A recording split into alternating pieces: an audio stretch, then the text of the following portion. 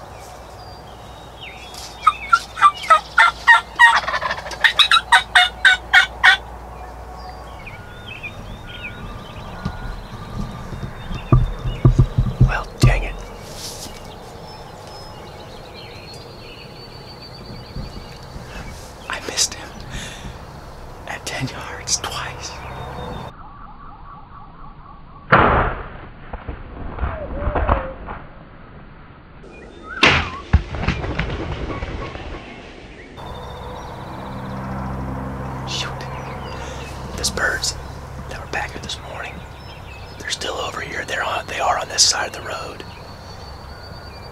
I saw, just barely saw tail fans. I got a little bit of footage of them. Out of nowhere, these two came from behind me with a hand. Come right into the decoys, and I missed him. Dang it.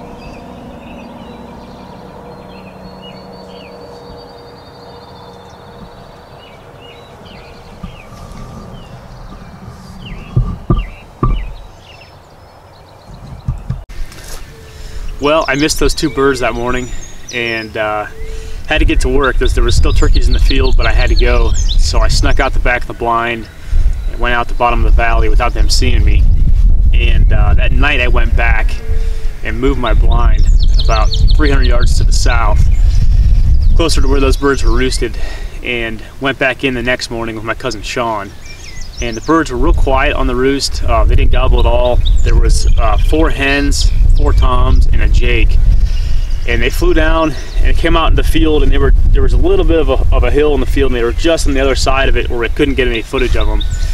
And uh, they were there for probably 20 minutes, and then all of a sudden they started to leave. So I, I just decided to get real excited on the call. I, I was scared to call too much. I didn't want to call to make the hens go away from us and uh, so they were about to leave so i just said i'm going to try it And i got real excited on the mouth call and uh, luckily one, one, of those toms picked his head up and, and started coming right to us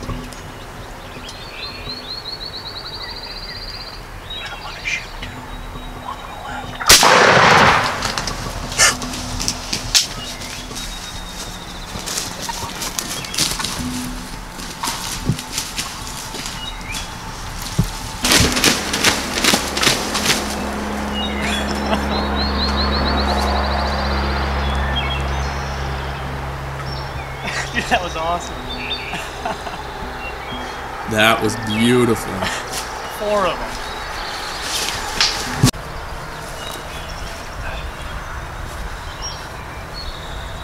Well, finally pulled it off. I missed a bird yesterday with the recurve and come back in here today with a different group of birds. And Sean came and videoed me and uh, what a hunt. I mean, like together. seriously, what a hunt. Yeah, it was awesome. They didn't gobble very much. They were pretty quiet, roosted down here.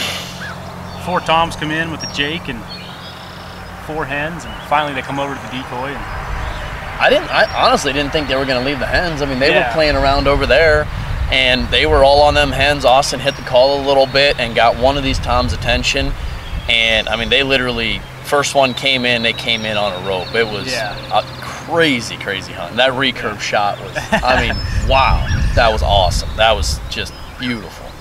It was fun. I'm glad I finally was able to do it. I've been wanting to kill one with a recurve for a long time. Finally pulled it off. So, good deal. Well, thanks. Thank you. That was a blast, man.